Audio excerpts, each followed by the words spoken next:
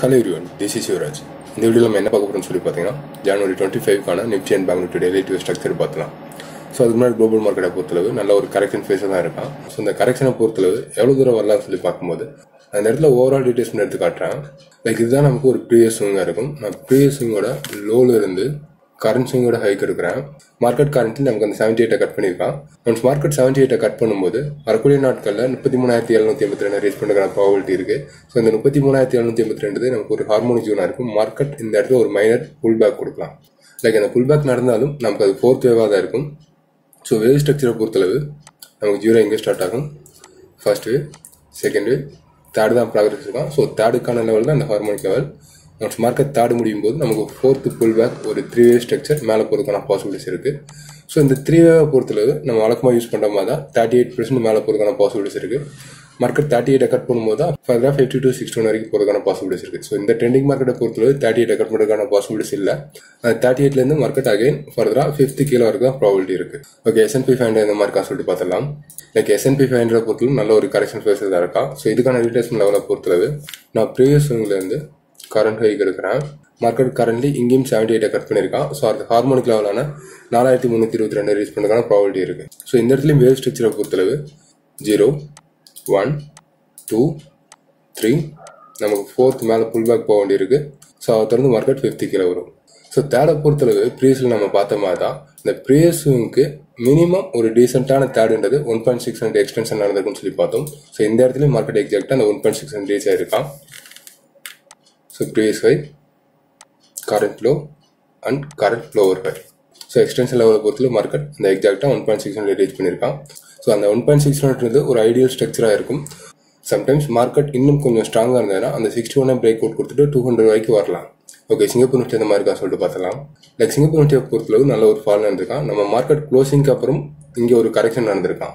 So நம்ம market க்ளோசிங்கை பொறுத்தளவு ஃபியூச்சரில் வந்து பதினாயிரத்தி நூற்றி ரெண்டில் இருக்கான். ஸ்பாட்டை பொறுத்தளவு பதினாயிரத்தி நூற்றி நாற்பத்தொம்போதில் க்ளோசிங் வச்சுருக்கான். ஸோ இப்போ கரண்ட்லி சிங்கப்பூர் ஃபிஃப்டி நடக்கிறத பொறுத்தளவு பதினாயிரத்தி முப்பத்தி ஒன்பது நடக்குது. கிட்டத்தட்ட ஒரு அறுபது பாயிண்ட் டவுனில் தான் இருக்கான். ஸோ இதுக்கான ரீட்டேஸ்மெண்ட் லெவலை பொறுத்தளவு நான் ஒரு ப்ரீவியஸ் விங்க் எடுக்கிறேன். So market sixty one break கொடுத்துட்டான். அடுத்து செவன்ட்டி எயிட்னா பதினாறு எண்ணூற்றி நாற்பத்தி ரெண்டு வரைக்கும் வரதுக்கான ப்ராபிலிட்டி இருக்குது ஸோ இந்த இடத்துல மைனஸ் விங்கான ரீட்டேஸ்மெண்ட் லெவலை பொறுத்தளவு நான் ப்ரீவியஸ் விங்கோட ஒரு ஹையர் லோவில் வைக்கிறேன்.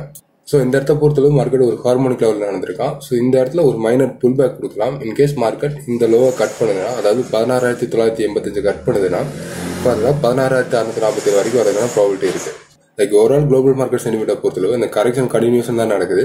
ஒரு நல்ல சப்போர்ட் ஜோன் கிடச்சி நமக்கு ஒரு புல் பேக் கொடுத்ததுன்னா ஒரு மைனர் த்ரீ இயர் ஸ்ட்ரக்சர் கிடைக்கலாம். ஸோ அந்த த்ரீ இயர் ஸ்ட்ரக்சர் கிடைச்சதுன்னா நாளைக்கு நம்ம மார்க்கெட் நியூட்ரல் லிட்டில் பிட் கேப்பை கொடுக்குறதுக்கான கொடுக்கறதுக்கான ப்ராபிலிட்டி இருக்குது ஓகே நம்ம மார்க்கெட் அந்த மாதிரி சொல்லிட்டு பார்த்துடலாம். லைக் நிஃப்டியை பொறுத்தளவு ஒரு டே சார்ட்டில் நம்ம கேண்டிஸ்டிக் பேட்டர்ன் படி பார்க்கும்போது ட்ரெண்டு கண்டினியூஸாக தான் நடந்திருக்கு.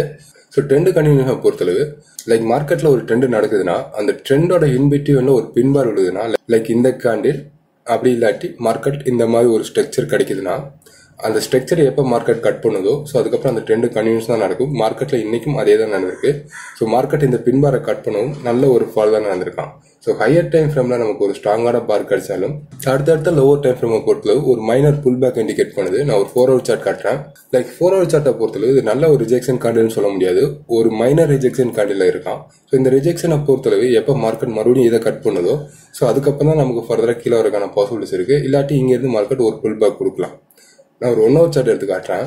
லைக் ஒன் சார்ட்டை பொறுத்தளவு ரெண்டுமே சாலிடான கேண்டில் இந்த ரெட் கேண்டிலும் ஒரு சாலிடான கேண்டில் அதை தொடர்ந்து வந்த கிரீன் கேண்டிலும் சாலிடான கேண்டில் பட் இந்த கிரீன் கேண்டிலை பொறுத்தளவு இந்த ரெட் கேண்டில காட்டிலும் ஒரு சின்னதாக தான் இருக்கான்.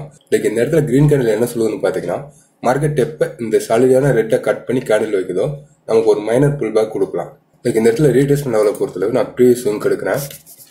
அதாவது இந்த லோவில் இருந்து இந்த ஹை ரீடேஷன் லெவலில் இருக்கிறேன் கரண்ட்லி மார்க்கெட் க்ளோசிங்கை பொறுத்தளவு சிக்ஸ்டி ஒன்ல வச்சிருக்கான். லைக் சிக்ஸ்டி ஒன்றது நமக்கு ஒரு நல்ல சப்போர்ட் ஜோனாக இருக்கும். மார்க்கெட் இந்த சிக்ஸ்டி ஒன்ல சஸ்டெயின் ஆச்சுன்னா ஒரு மைனர் புல் பேக் நம்ம எதிர்பார்க்கலாம். அதாவது நாளைக்கு மார்க்கெட்டில் ஒரு சின்ன புல் பேக் எதிர்பார்க்கலாம் இன்கேஸ் மார்க்கெட் ஃபர்தராக இன்னைக்கான லோவை கட் பண்ணிச்சுன்னா நம்ம செவன்ட்டி எயிட்னா பதினாறு எழுநூத்தி இருபத்தஞ்சு ரேஸ் பண்ணுறதுக்கான ப்ராபிலிட்டி நிறைய இருக்கும். லைக் ட்ரெண்டை பொறுத்தளவு ஸ்ட்ராங்கான பீரிஷ் ட்ரெண்டாக தான் இருக்கான். ஸோ இந்த இடத்துல நமக்கு கிடைச்சதுன்னா ஒரு மைனர் புல் பேக் கிடைக்கிறதுக்கு ப்ராபிலிட்டி இருக்கு நிஃப்டிக்கான ஓப்பன் வச்சு பார்க்கும்போது பதினேழாயிரம்ன்றது ஒரு நல்ல சப்போர்ட்டாக இருக்கான். ஸோ ரெசிஸ்டண்ட்டை பொறுத்தளவு பதினேழாயிரத்தி முந்நூறு பதினேழாயிரத்தி நானூறு பதினேழாயிரத்தி ஐநூறு. மூணுமே நல்ல ஒரு ரெசிடெண்டாக இருக்கான். லைக் இதுபடி பார்க்கும்போது பதினேழாயிரம்ன்றது நல்ல ஒரு சப்போர்ட்டா இருக்கும். மார்க்கெட் அதை கட் பண்ணாதான் செவன்டி எயிட் ஆனால் பதினாறு நூத்தி இருபத்தஞ்சு ரீச் பண்ணுறதுக்கான ப்ராபிலிட்டி இருக்கு. அதே மாதிரி அப்சைடை பொறுத்தது மார்க்கெட் பதினாயிரத்தி முந்நூறு கட் பண்ணாதான் பதினாயிரத்தி நானூறு வரைக்கும் போறதுக்கான ப்ராபிலிட்டி இருக்கு. ஸோ இந்த இடத்துல அப்சைடுக்கான ரேட்டஸ்மெண்ட் லெவலை பொறுத்தளவு நான் ப்ரீவியஸ் லிங்க் எடுக்கிறேன். மார்க்கெட் டுவெண்ட்டி த்ரீ ரேஞ்சில் ரிஜெக்ஷன் கொடுத்துருக்கான்.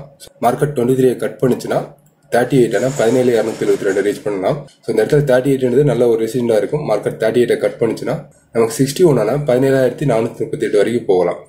ஓகே பேங்க் நிஃப்டி எந்த மாதிரி இருக்கா சொல்லிட்டு பார்த்துடலாம். லைக் பேங்க் நிஃப்டியை பொறுத்தலும் நல்ல ஒரு கரெக்ட் ஃபேஸ் தான் இருக்கான். புல் பேக்கை பொறுத்தளவு நிஃப்டியை கார்லையும் இந்த இடத்துல நல்ல ஒரு புல் பேக் நடந்திருக்கான்.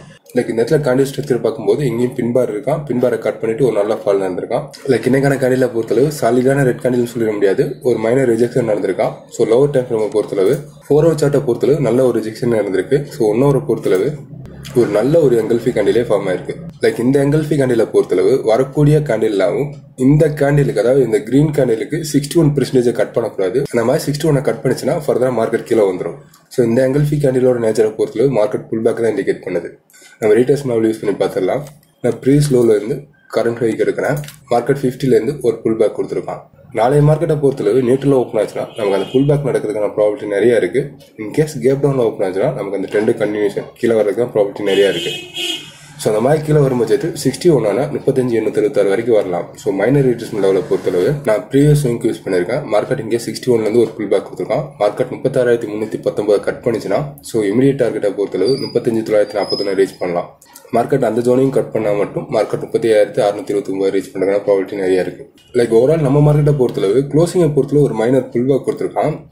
ஸோ அந்த புல் பேக் சஸ்டெயின் ஆகணும்னா நாளைக்கு மார்க்கெட் நியூட்ரல் ஓப்பன் ஆகணும். நியூட்ரல் ஓப்பன் ஆனால் மட்டும்தான் அந்த புல் பேக் சஸ்டெயின் ஆகும். அதர்வைஸ் மார்க்கெட் கேப் டவுன் கொடுத்ததுன்னா அந்த ட்ரெண்ட் கன்வியூஷன் இருக்கிறதுக்கான ப்ராபிலிட்டி இருக்குது லைக் பேங்க் நிஃப்டிக்கான ஓஏ பொறுத்தளவு முப்பத்தி ஆறாயிரத்தி ஐநூறுன்றது நல்ல ஒரு சப்போர்ட்டாக இருக்கான். ஸோ அதேமாதிரி ரெசிடெண்டை பொறுத்தளவு முப்பத்தி ஏழாயிரம் நல்ல ஒரு ரெசிடென்டா இருக்கான். மார்க்கெட் முப்பத்தேழாயிரத்துக்கு மேலே அதாவது முப்பத்தேழாயிரத்தி ஐம்பது முப்பத்தேழாயிரத்தி நூறு ரீச் ஆயிடுச்சுன்னா ஃபர்தராக அந்த இடத்துல ஷார்ட் கவரிங் நடக்கிறதுக்கான ப்ராபிலிட்டி இருக்கு.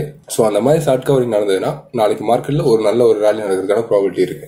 ஸோ இந்த இடத்துல பிசிஆர் என்ன இண்டிகேட் பண்ணுன்னு சொல்லி பார்த்தீங்கன்னா பிசிஆர் பொறுத்தளவு லாஸ்ட்டாக ஒரு வாரமேவும் ஜீரோ டு ஃபைவ்லேருந்து ஜீரோ டு செவன் தான் இண்டிகேட் பண்ணுறான் இந்த zero point five and seven என்ன இண்டிகேட் பண்ணுன்னு சொல்லி பார்த்தீங்கன்னா ஓவர் சோல்டு இண்டிகேட் பண்ணுது.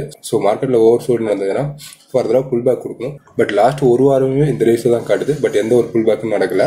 ஸோ நாளைய மார்க்கெட்ல என்ன நடக்குன்னு சொல்லிட்டு பார்த்துக்கலாம் ஓகே இந்த வீடியோ டவுட் இருந்தால் கமெண்ட்ஸில் கமெண்ட் பண்ணுங்க. வரக்கூடிய வீடியோக்கு வந்து பார்க்கலாம். Okay thank you friends